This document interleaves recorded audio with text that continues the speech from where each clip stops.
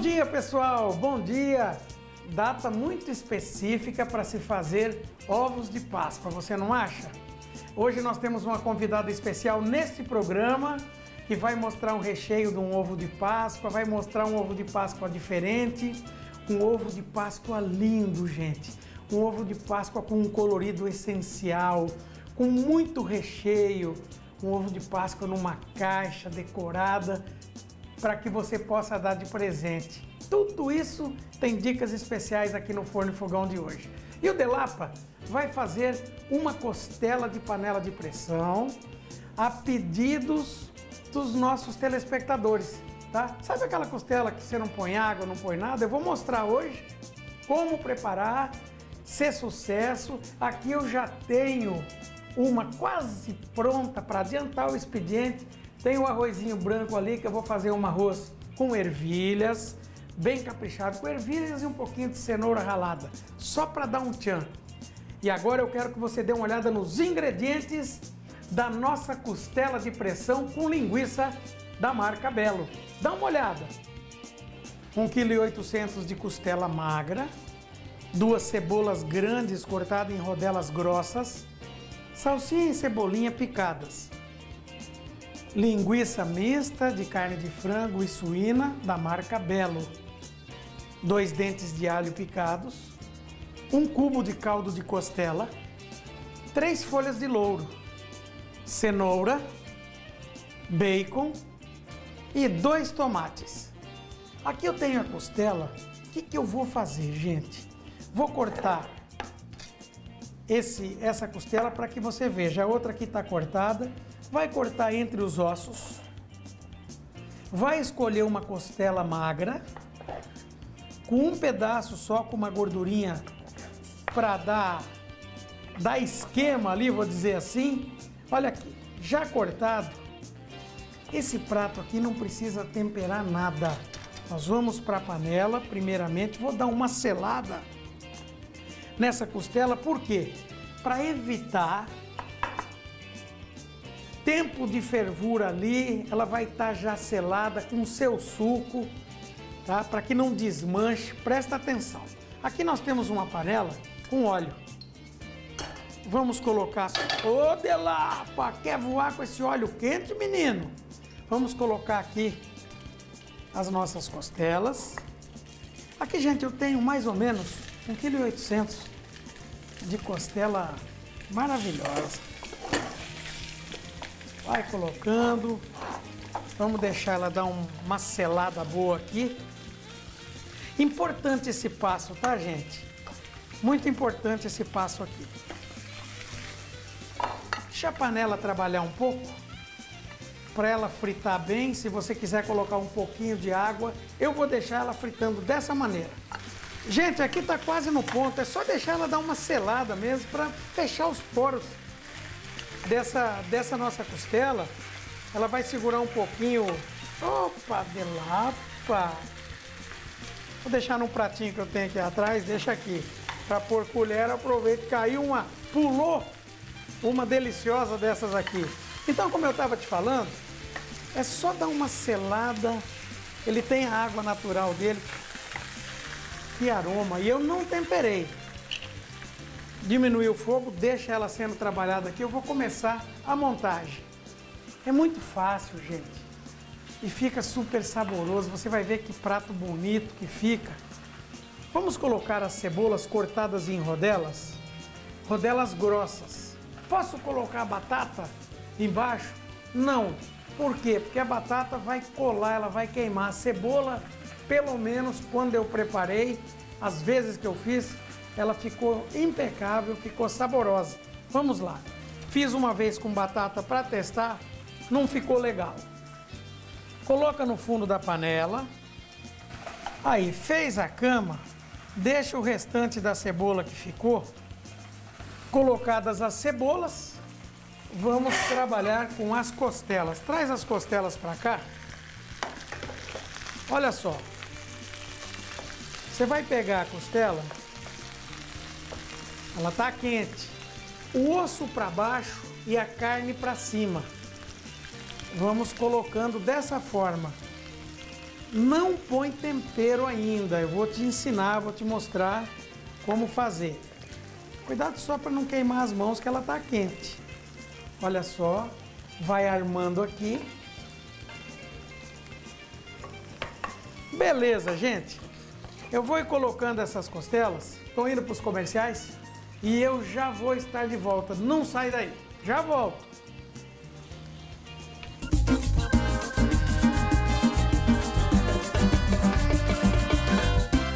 Estamos de volta, gente. O que, que nós fizemos no primeiro bloco? Fritei essa costela, tem uma selada nela, só selar. Coloquei a cama por baixo, que é a cebola cortada em gomos, cor, perdão, cortada em rodelas mais grossas. E assentei a costela no capricho por cima das cebolas. Beleza? Vamos continuar. Aqui eu tenho quatro dentes de alho já picados, vou colocar por cima. Isso aqui fica bom que você não queira nem saber, tá? Aqui, gente, eu tenho bacon da Belo Alimentos também. Tá aqui minha faca. Vamos cortar o bacon com courinho e tudo. Ok, eu não tirei esse courinho dessa vez. Vou cortar ele ao meio aqui. Aqui vai dar mais ou menos seis pedacinhos desse. Gente, não é para encher de bacon. O bacon ele tem que largar seu sabor numa normalidade. E você vai entender o que eu vou te explicar agora. Vamos colocar também dividindo aqui por dentro. Tá? Coloca por cima, coloca por cima, não vai deixar ir pro fundo esse bacon não, ele tem que ficar em camadas. Beleza. Já colocado o bacon. Aqui, gente, eu tenho um caldo de costela em cubo. Esse caldo de mercado que você compra, tá? Como nesse prato não vai nada líquido, o que eu vou ter de líquido que vai soltar aqui são dos ingredientes, eu coloco ele para dar um sabor.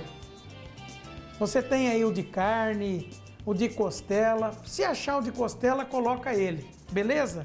Mas numa normalidade, quando eu vou fazer minhas, minhas comidas, vou fazer minhas massas, eu utilizo o meu caldo natural, que eu sempre faço aqui, tá? Coloco os legumes, cozinha ele, coloco uma carne, frita bem, sobras de carne e deixa cozinhar, coloca numa garrafa PET e deixe no freezer. Se for trabalhar de manhã cedo, tira, se for fazer para o almoço, ou deixa num bol com água, ele derrete, você tem aí um caldo natural. Mas aqui, como não vai caldo, eu coloco esse para dar aquele sabor realmente. Que aqui nem a carne eu temperei, você observou? Não coloquei nada na carne, só selei essa nossa costela e vai ficar bom. Folhas de louro, vai por cima aqui, vamos colocar quatro folhinhas de louro. Tá prestando atenção? Beleza. Terminado esse lote de coisas, vamos novamente para as cebolas. Coloca as cebolas que sobrou, não precisa fazer uma camada inteira. Aqui é só para dar sabor mesmo, para complementar. Vamos indo para os ingredientes. Gente, aqui eu falei que ia te mostrar. Você precisa fazer essa compra, viu? Comprar esta linguiça que eu tô te mostrando. É linguiça mista de su, é, suína com frango, Tabelo Alimentos. Você pode comprar que ela tem sabor, ela é diferenciada e vou te dar a dica para você fazer esse prato.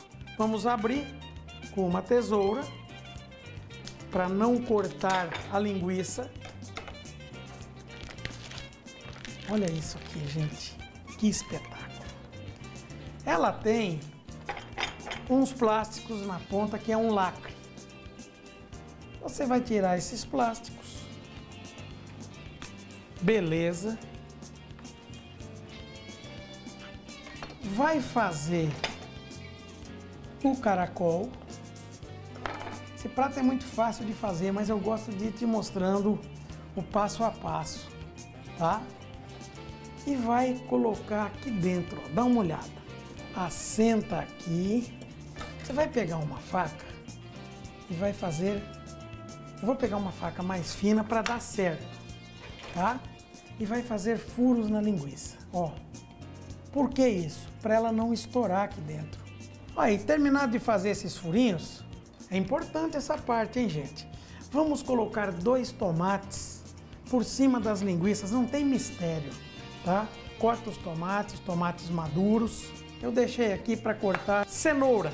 Já cortadas as cenouras, vamos acomodá-las aqui. Você deve se perguntar aí, né? Delapa, você não colocou nada de água? Como é que vai... Essa panela vai trabalhar, não vai queimar? Aqui eu tenho já prontinho para tirar, para adiantar o expediente. Mas essa aqui eu vou lacrar. Oh, maravilha, Delapa! Vou acender o fogo. e já vou deixar a panela trabalhar por 50 minutos. Fogo médio, tá? Aqui tá no jeito. Eu tô indo para os comerciais e já tô de volta com a finalização dessa costela e vou fazer um arroz com ervilhas e cenoura para você. Já já eu tô de volta.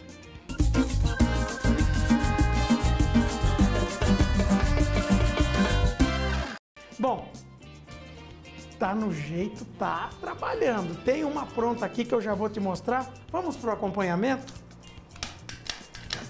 Aí, gente, aqui dentro já tenho manteiga, tá? Já dei uma derretida. E aqui eu tenho o arroz já cozido, que eu já fiz, salsinha e cebolinha. Esse arroz promete. Vamos lá. Vou colocar um pouco do arroz. Eu tenho uma cumbuquinha aqui que dá para duas pessoas com tranquilidade na manteiga. Vou dar uma boa mexida, misturar o arroz com a manteiga. Manteiga eu tenho uma colher rasa. Começou a cheirar a nossa costela. Comecei a sentir o aroma. Vamos lá. Colocamos essa nossa cenoura ralada. Colocamos a cenoura e você vai trabalhando. O nosso arroz já está temperado, tá? E a seguir, colocamos essa delícia aqui. Oh, maravilha! E agora, para finalizar, um pouquinho de salsinha e cebolinha. Aqueceu. Gente, arrozinho pronto. Tô desligando, tá? Enquanto vou me organizar para montar um prato bonitinho para você, aqui eu já tenho costela pronta, tenho arroz pronto. Eu quero que você acompanhe a viagem do chefe Bruno Abreu lá em Lima, no Peru. Os restaurantes que ele visita são fantásticos, as matérias que ele nos, nos envia são especiais. E nas terças-feiras nós temos o Mochila Food aqui para você. E é hora de nós vermos o chefe Bruno Abreu lá por Lima, no Peru. Vamos lá!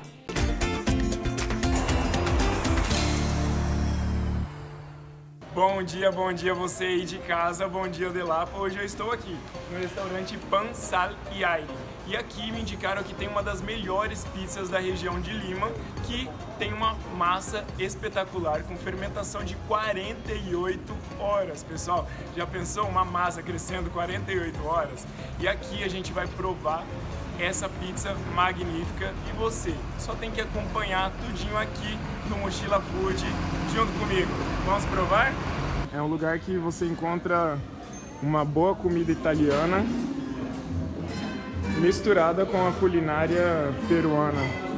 Decoração toda muito bonita. E ali é a cozinha. Então você consegue ver toda a cozinha, todo o trabalho do pessoal ali, desde a mesa. Está saindo a produção? Olha só, ela, eles abrem a, a massa aqui na hora e olha só a qualidade dessa massa, com uma farinha especial. E aí tem seu preparo ali, sua forma de abrir e ela vai rechear e colocar no forno.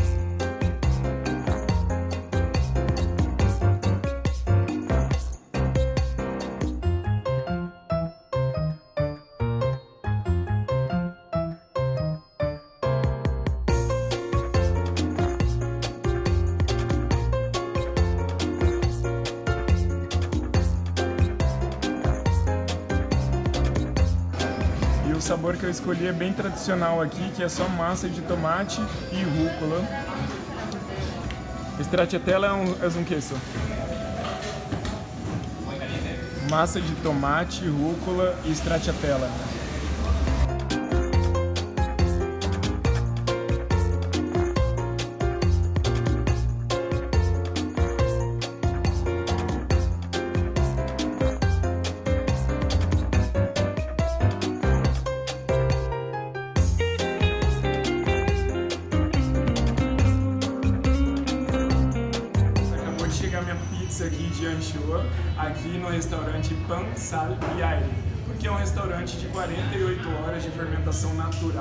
E a pizza aqui é riquíssima, pessoal. Eu vou estar aqui provando para vocês, para ver como é essa experiência de esperar 48 horas para fermentar uma massa.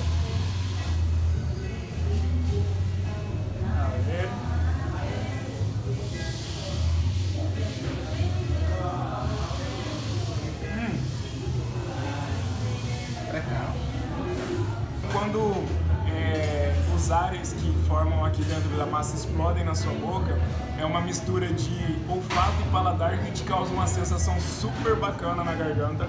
Então eu super que indico que vocês venham aqui e provem essa pizza magnífica que tem nesse restaurante. Então, galerinha, eu vou me despedindo aqui, vou terminar de comer minha pizza e convido a vocês para participar do nosso próximo episódio do Mochila Food aqui no Forno Fogão. Delapa é com você.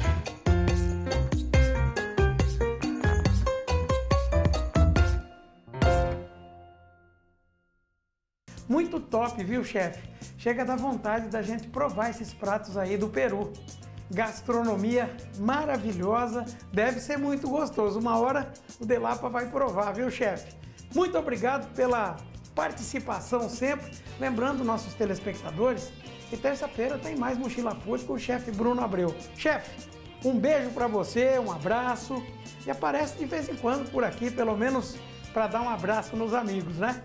Show de bola! E agora, chefe Bruno Abreu, dá uma olhada você na nossa receita que não é do Peru, é do Brasil. Vou fazer esse prato para mim. Olha só. Vou te mostrar uma coisa aqui como que funciona. Olha, olha aqui essa costela. Olha aí. Olha. Você viu que é uma beleza, né? Vamos colocar uma linguiçinha da Belo, um pouquinho de cenoura para ficar um prato bonito. Ficou muito bonito, né, gente? Vamos provar, tá na hora. Vou tirar um pedacinho dessa costela macia. Olha, não precisa nem fazer força para cortar. Hum, derrete. Impressionante que o tempero da linguiça e do cubo de caldo de costela dão o tempero essencial em sal e sabor, tá? Isso aqui eu não podia deixar de fazer, cortar um pedacinho do bacon, que eu amo, um pedacinho da linguiça, tudo da Belo Alimentos.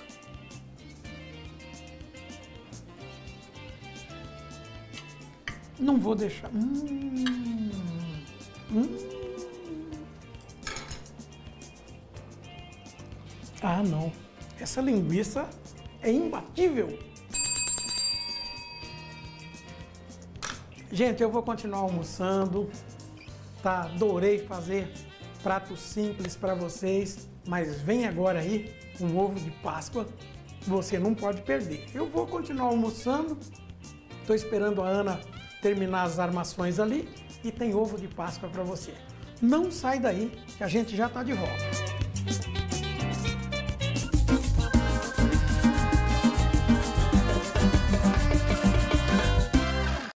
Olha só, pessoal, nós estamos começando esse bloco e olha só que delícia que a Ana Cláudia, que é a confeiteira amiga aqui do programa, vai mostrar para vocês hoje um ovo de Páscoa fantástico.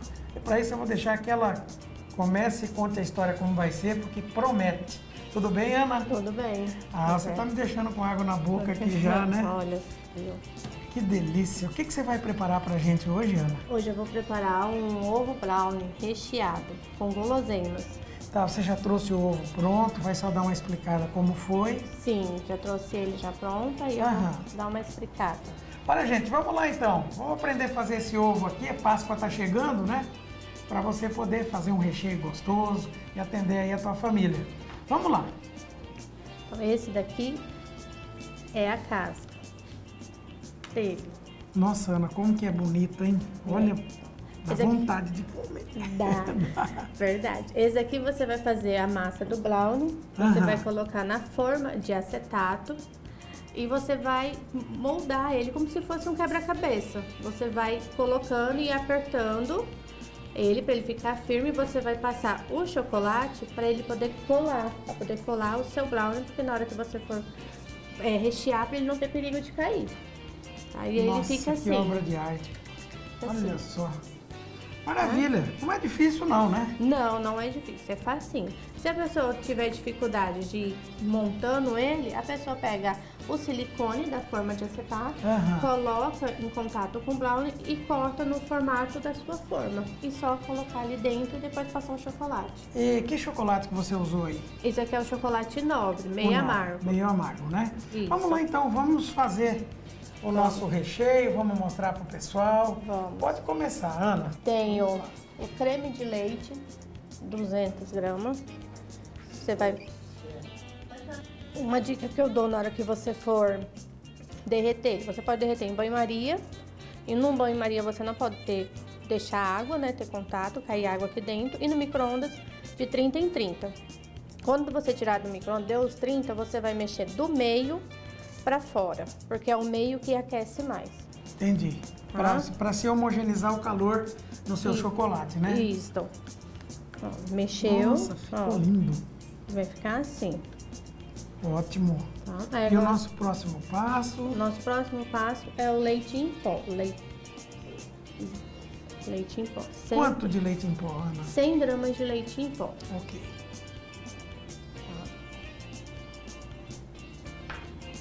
Vai mexendo. Isso, mexe novamente. Não precisa de batedeira, não precisa de liquidificador, não precisa de fogão. Tudo muito É muito tranquilo de fazer, olha. Sim. Agora vou quebrar a bolacha. Agora vou colocar o chantilly. Pode ser chantilly de mercado. Pode, pode ser chantilly de mercado, chantilly caseiro. Olha, Delapa, a cremosidade dele. Uma Sim. delícia, viu? Sim, tá cremoso. Maravilha. Nós não vamos trabalhar com esse, né, Ana? Não, eu trouxe um outro, esse daqui. Ah, depois de pronto, a pessoa pode deixar na geladeira por alguns minutos para ele poder dar mais uma firmada. E ela já trouxe outro que tá aqui. Olha aí, daí que eu vou pôr ali atrás. Eu vou pôr ali para a produção colocar na geladeira, deixa aqui do lado. Daqui a pouquinho vai lá. Agora vamos rechear o ovo, tá, Delapa? Vamos nessa. Recheio. Quer uma outra colher para você ti- tirar? Não, tá. Não precisa, né? Não, tá. Aqui só você coloca. Um detalhe, se você for colocar guloseimas como esse daqui vai ser decorado, você não precisa encher ele até na boca, porque senão ele pode rachar. Vamos decorar ele, você pode decorar ele com diversos tipos de chocolate, branco, o preto, Ma- marronzinho. marronzinho, conforme o seu gosto. Do jeito que você achar melhor, você pode fazer a sua decoração. Agora eu vou estar colocando o brownie, que é a mesma receita que é o da casca. E essa receita vai estar no forno e fogão. No- no Instagram do forno, né? Isso. Ótimo. Olha, Ana, fica tão bonito que às vezes a pessoa não vai querer nem comer, quer ficar olhando, admirando, né? Verdade. Mas eu não vou deixar passar em branco, não. Agora eu vou colocar o marshmallow.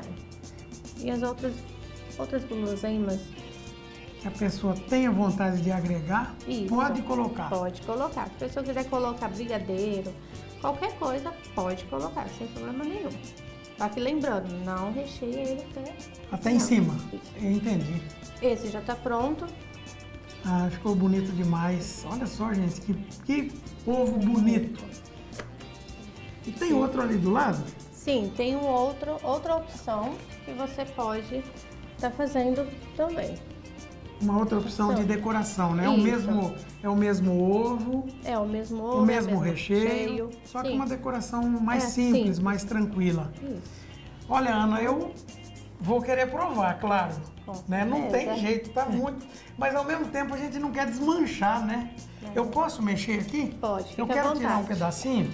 Eu preciso tirar um pedaço da, do ovo para que eu prove. Hum. Agora eu vou pro recheio. Fica à vontade. Nossa, Ana, que ovo gostoso, muito leve, muito leve. Não tem problema.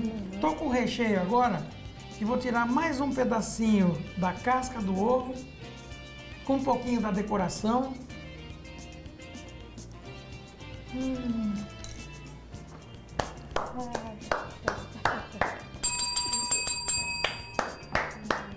Gente, eu até aplaudi. Coisa que você não viu fazer ainda aqui, né? Que coisa maravilhosa de sabor que eu senti agora, Ana. Que bom. Que bom demais. E olha que eu não brinquei com os outros recheios, hein? Mas parabéns. Muito obrigada. Além da beleza, beleza estética, riqueza no sabor, Ana. Quero te agradecer, Eu que agradeço. tá? Muito 10, Ana. Mas muito 10 mesmo. Eu tô fazendo elogio assim mais uma vez. Tá? Olha, fiquem com Deus. Gostou da nossa receitinha salgada? Fácil de fazer, né, gente? Gostou da receita da Ana? Fácil de fazer também, muito saboroso. Muito obrigado. Deus te abençoe. Obrigado. Viu? Obrigadão. E assim a gente vai indo embora. Eu vou continuar degustando ovo de Páscoa. Tchau, tchau.